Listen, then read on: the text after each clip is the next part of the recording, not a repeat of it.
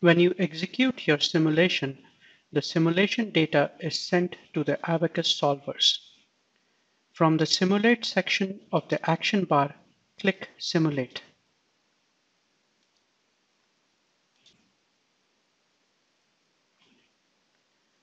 Choose the execution mode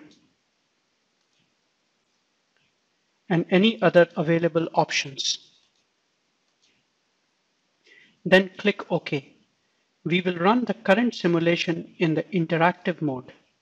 This means that your simulation is actively monitored in the foreground of your currently running session.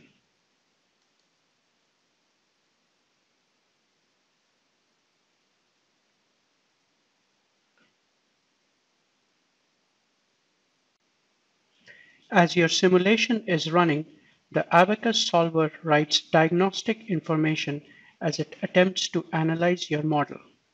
For example, the Iteration tab displays the diagnostic information for the simulation and for each step, increment, attempt, and iteration.